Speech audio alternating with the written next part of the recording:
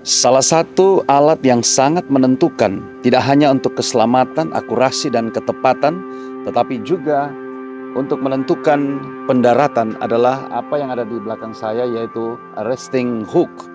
Kaitan inilah walaupun benda yang sangat kecil tetapi inilah yang akan menahan pesawat yang mendarat di kapal induk sehingga dia boleh berhenti dalam waktu yang begitu singkat dan bisa mendarat dalam keadaan selamat.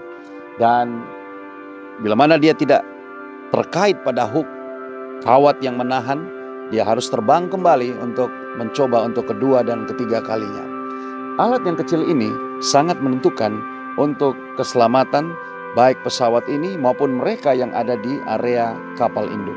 Hal ini mengingatkan saya kepada apa yang dikatakan oleh 1 Korintus 2 ayat 5 supaya iman kamu jangan bergantung pada hikmat manusia tetapi pada kekuatan Allah.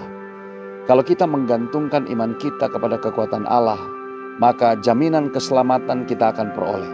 Tetapi kalau kita menggantungkan iman kita, mengaitkan iman kita hanya kepada kekuatan manusia, maka kita tidak akan selamat. Untuk itu, biasakanlah diri kita untuk selalu menggantungkan iman kita kepada Allah sebagaimana fungsi daripada resting hook yang ada di setiap kapal tempur yang biasanya mendarat di kapal induk.